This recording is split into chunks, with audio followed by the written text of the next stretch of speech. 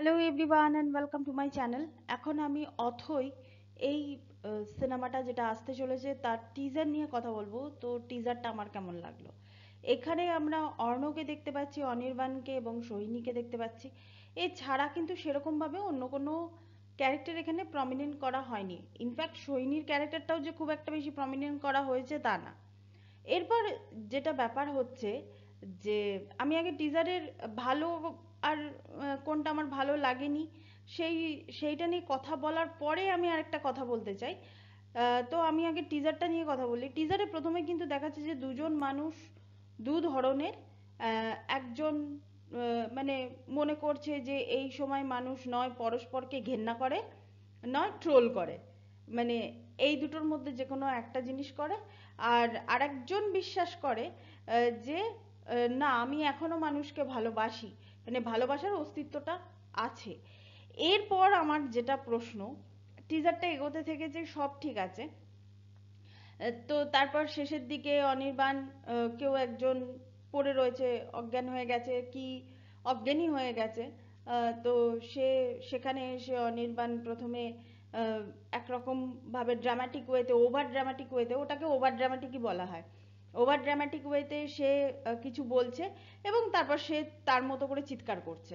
তো এখানে সৈনিকের একটা ছোট পোর্শনে আমরা দেখতে পাই।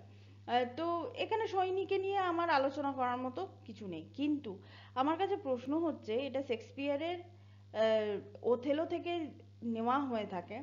আজকে যে যে চরিত্রগুলোকে করা হয়েছে এবং যে ধরনের ডায়লগস এরা দিচ্ছে আজকে কি ওথেলোর ক্ষেত্রে কি এই রকম ধরনের মানে একজন মানুষ বিশ্বাস করে যে মানুষ মানুষ পরস্পরকে না ঘেন্না করে, না ট্রোল করে, আবার আর- আরেকজন বিশ্বাস করছে যে না, আমি ভালোবাসি, এইরকম ধরনের ক্যারেক্টার কোথায় ছিল ওথেলোতে?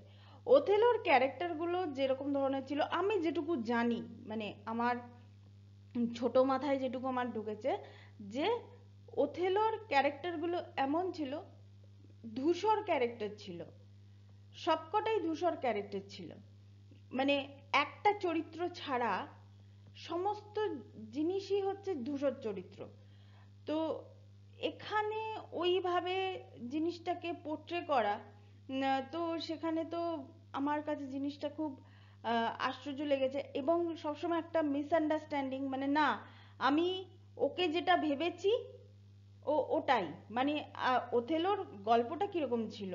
আমি গল্পটা বলছি না, কিন্তু যেটা ছিল যে মেইন যে ক্যারেক্টার সে যেটা ভেবেছিল, সে সেটাই করেছিল। কিন্তু পরবর্তীকালে কিন্তু সে জানতে পারল যে না, সেটা ওই জিনিসটা নয়। মানে সে যেটা ভেবেছিল, সেটা ভুল ভেবেছিল। তো এইরকম একটা চরিত্র, তো এরকম একটা চরিত্রর এইরকম একটা রূপান্তর মানে আমার কাছে জিনিসটা খুব মানে একটু অন্যরকম আমার কাছে মনে হয়েছে। সিরিয়াসলি বলছি আমি অথয়ের মানে টিজারটা দেখে।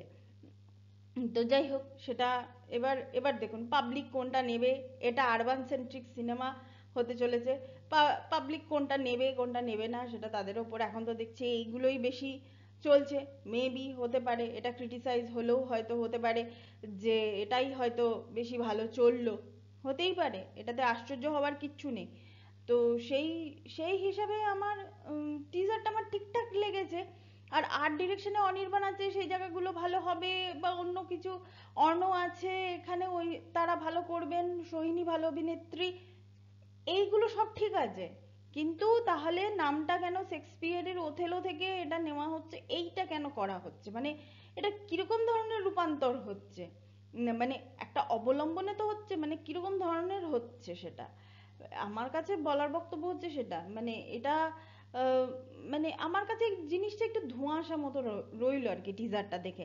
আদারওয়াইজ আপনারা যদি টেকনিক্যাল অ্যাসপেক্টস থেকে দেখেন বা অনির্বাণ, অর্ণব, সোহিনী, এদেরকে নিয়ে আলাদাভাবে বলার কিছু নেই। এরা সবাই প্রতিষ্ঠিত নিজের নিজের জায়গায়। এরা ভালো অভিনয় করবে। তো সেটাই হচ্ছে দেখার বিষয় যে এই এই সিনেমাটা কেমন হয়।